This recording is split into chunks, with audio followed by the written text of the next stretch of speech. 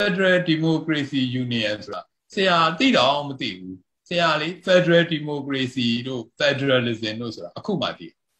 ဒါပေမဲ့အဲ့ဒါပြည်သူကတောင်းဆိုခဲ့တာအဲ့ဒီပြည်သူတွားခြင်းခဲ့တာ Peoples of Myanmar ရဲ့ဒါ ultimate goal ပဲအဲ့ဒါဟာရှင်းတယ်အဲ့ဒီဟာကိုဆရာလုံးဝမသိခဲ့ဘူးဆရာဒီဟာနဲ့ပတ်သက်ရင်အခုမှလေ့လာနေတယ် ဟိုဒီနေ့က David Professor David William တို့ရဲ့ top 5ခုပေးသွားတယ်နော်အခု public ကိုပေးတယ်အဲ့ဒါတွေနဲ့ပေါင်းပြီးစာတွေဖတ်တော့မှ federalism ဆိုတာဆရာသိခဲ့ဆရာတို့ကိုဆရာတို့မွေးကနေကနော်62ခုနှစ်ခနဲကဒီအုပ်ချုပ်ခဲ့တဲ့စစ်တပ်နဲ့ socialist နဲ့ top down နဲ့ဒီပညာရေးက federal ဆိုရင် မြန်မာပြည်ကိုဖျက်ဆီးပြစ်မဲ့ဟာလို့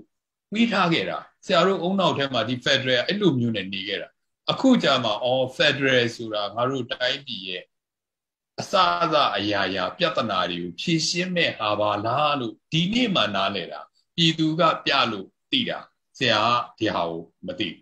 ဆိုတော့အကြောင်းဒါဆရာဝန်ခံတာပြီးတော့ဒီနေ့ဆရာရေးတဲ့စာဟာဒါဆရာလမ်းညွှန်တာလည်းမဟုတ်လမ်းပြတာလည်းမဟုတ် ပြည်သူသွားနေတဲ့လမ်းကိုပုံဖော်ပြီးစာရေးပြတာ